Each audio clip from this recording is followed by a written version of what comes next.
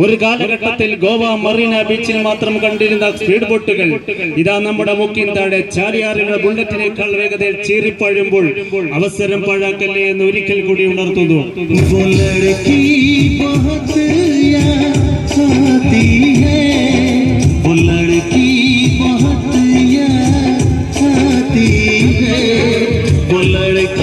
बहुत